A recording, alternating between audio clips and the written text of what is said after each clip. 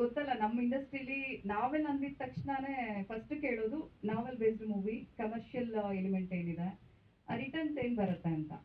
So ಇದ್ರಲ್ಲೆಲ್ಲ ನಮಗ್ ಗೊತ್ತು ಇದು ಕಮರ್ಷಿಯಲ್ ಆಗಿ ಥಿಂಕ್ ಮಾಡೋರ ಹತ್ರ ರೀಚ್ ಆಗಲ್ಲ ಈ ಸಬ್ಜೆಕ್ಟ್ ಅನ್ನೋದು ಮುಖ್ಯವಾಗಿ ಗೊತ್ತಿತ್ತು.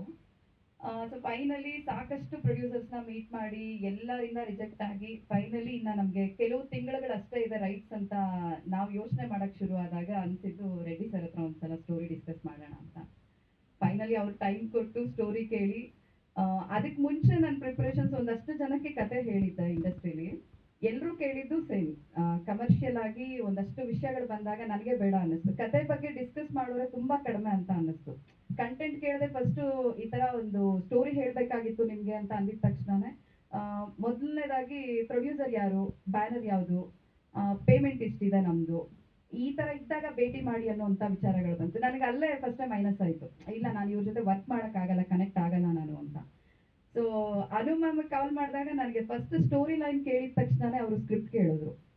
ಸ್ಕ್ರಿಪ್ಟ್ ಕಳಿಸ್ಕೊಡಿ ಅಂತ. ನನಗೆ ಅಲ್ಲಿ, ಇಲ್ಲ ವರ್ಕ್ ಮಾಡಿದ್ರೆ ಇವ್ರ ಜೊತೆ ಮಾಡ್ಬೇಕು ಅನ್ನೋದು ನನಗೆ ಫಸ್ಟ್ ಕನೆಕ್ಟ್ ಆಗಿದ್ದ ವಿಷಯ ಅದು. ಅದಾದ ನಂತರ ನಮ್ಮ ಜರ್ನಿ ಇವತ್ತಿನವರೆಗೂ ಅವರು ನನ್ನ ಪ್ರತಿ ಹೆಜ್ಜೆಗೂ ಅವರಿದ್ದಾರೆ. ಅಂಡ್ ರೆಡ್ಡಿ ಸರ್ ಕೂಡ ಅದೇ ರೀತಿ ಸಪೋರ್ಟ್ ಮಾಡ್ತಿದ್ದಾರೆ. ಆ್ಯಂಡ್ ಮೊದಲನೇದಾಗಿ ನನ್ನ ಟೀಮ್ ಸಂಭ್ರಮ ಟೀಮ್ ಏನಿದೆ ವಿನಯ್ ಮತ್ತೆ ಪುನೀತ್. ನಾನು ನಾವೆಲ್ ರೈಟ್ಸ್ ತಂದಿದ್ದ ದಿನದಿಂದ ಇವತ್ತಿನ ದಿನದವರೆಗೂ ನಮ್ಮ ಒಂದು ಕೋಆರ್ಡಿನೇಷನ್ ಹಂಗೆ ಇದೆ.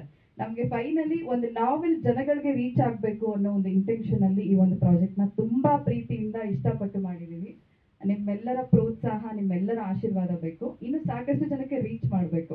ನಮ್ಮ ಜವಾಬ್ದಾರಿನ ನಾವು ಅಚ್ಚುಕಟ್ಟಾಗಿ ನಿಭಾಯಿಸಿದ್ದೀವಿ ಈಗ ನಿಮ್ಮ ಜವಾಬ್ದಾರಿ.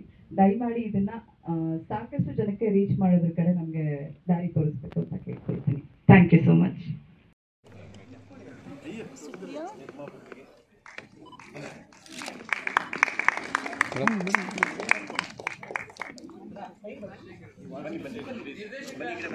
sir hello sir sir ನಿರ್ದೇಶಕಿ ಅವರ? ಒಂದು ಪ್ರಶ್ನೆ ಕೇಳ್ಬೋದಾ? ಖಂಡಿತ ಏನಂತ ಹೇಳಿದ್ರೆ ಅದು ಮುಸ್ಲಿಂನ ಒಬ್ಬ ಕಪ್ಪು ಹುಡುಗಿಗೆ ಸಂಬಂಧಪಟ್ಟ ಸಿ- ಚಿತ್ರ ಆಗಿರೋದ್ರಿಂದ ಒಬ್ಬ ಕಪ್ಪು ಹುಡುಗಿಗೆ ಅವಕಾಶ ಕೊಟ್ಟು ಫಿಲಿಮ್ ಮಾಡ್ಬೋದಾಗಿತ್ತು. ನೀವೇನಕ್ಕೆ ಮೇಕಪ್ ಹಾಕಿ ಅವ್ರನ್ನ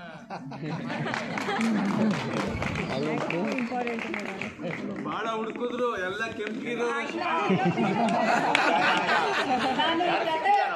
ಈ ಕತೆ ಆಡಿಷನ್ ಮಾಡಿದಾಗ ಸಾಕಷ್ಟು ಜನಕ್ಕೆ ಕತೆ ಹೇಳಿದೆ ಆಮೇಲೆ ಕಮರ್ಷಿಯಲೈಸ್ ಅಂತ ಬಂದಾಗ ಕತೆನ ರಿಜೆಕ್ಟ್ ಮಾಡಿದವರೇ ಜಾಸ್ತಿ.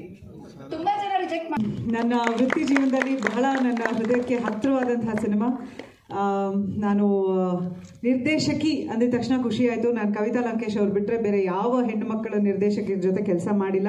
ಇರೋದೇ ಒಂದು ನಾಲ್ಕೈದು ಜನ ಎಣಿಸ್ಬೋದು ಬೆರಳಲ್ಲಿ. ಅಂಥದ್ರಲ್ಲಿ ಈ ಹುಡುಗಿ ಬಂದು ಧೈರ್ಯ ಮಾಡಿ ಸಿನಿಮಾ ಮಾಡಬೇಕು ಅಂತ ಬಂದಾಗ ತುಂಬ ತುಂಬ ಖುಷಿ ಆಯಿತು. ಶೇಷಾರಿ ಸರ್ ಪ್ಲೀಸ್ ಇಲ್ಲಿ ಬರಬೇಕು ಅಂತ ಕೇಳ್ಕೊತೀವಿ. ಪ್ಲೀಸ್ ಬನ್ನಿ. ನಿಮ್ಮಂಥವರೇ ಸ್ಫೂರ್ತಿ